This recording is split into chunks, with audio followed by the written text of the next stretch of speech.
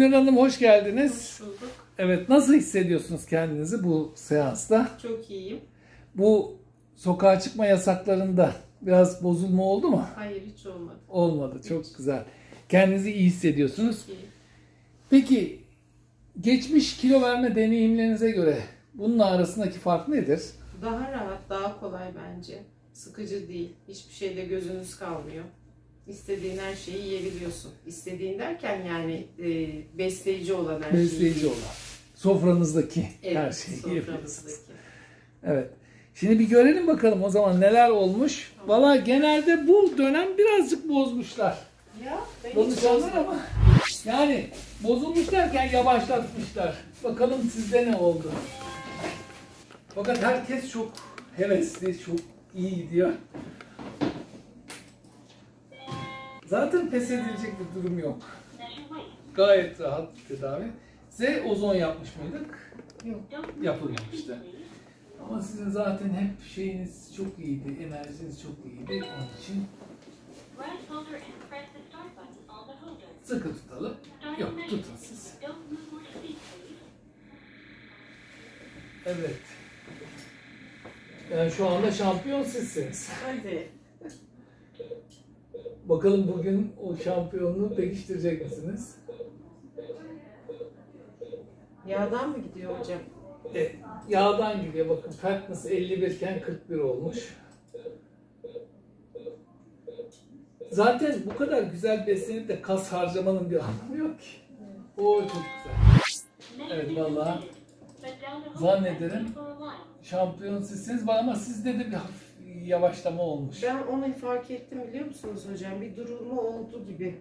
Fakat belli bir Ama hiç kilodan sonra bozduğum bir şey yok. Hani işte 6-7 kilo olmuş, 7,5 kilo olmuş. Bu çok iyi.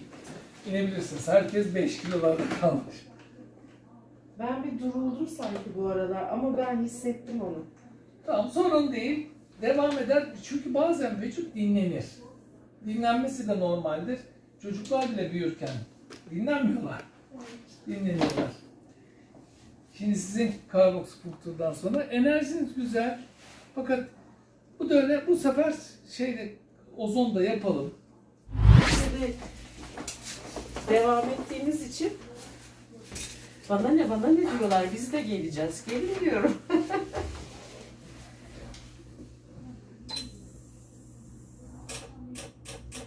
Ya biz 21 yıldır yaptığımız için çok eminiz. Olmaması mümkün değil. Düşünsenize hiç kimse sosyal medyadan alıp ben yaparım diyemez ki. Çünkü şey de var.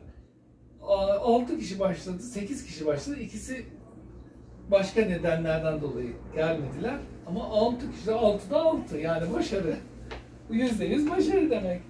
Ve yapılacak şeyler de çok basit. Sağlıklı olanı seçeceksiniz. Hiç listeye de gerek yok. Miktara gerek yok. Hepsini siz ayarlıyorsunuz çünkü zaten Allah size iştah vermiş. yani böyle bir imkan varken miktarı siz belirleyebiliyorken neden bir başkası miktar söylesin ki? Üç tane zeytin yiyin, beş tane zeytin yiyin diye sizi kısıtlasın. Herkes istediği kadarını yesin. Ve istediğiniz kadarını yiyip gayet güzel de kilo veriyorsunuz. İyi hissediyorsunuz. Daha ne olsun? Şimdi bakalım herkes merak ediyor ne yapıyorsunuz diye. Onu açıklayacağız ne yaptınız.